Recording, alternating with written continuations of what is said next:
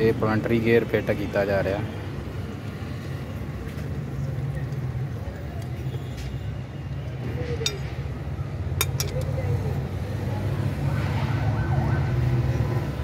ਇਸ ਤੋਂ ਬਾਅਦ ਬ੍ਰੇਕ ਸ਼ੂ ਪਾ ਕੇ ਤੇ ਫਿੱਟ ਕਰਨਾ।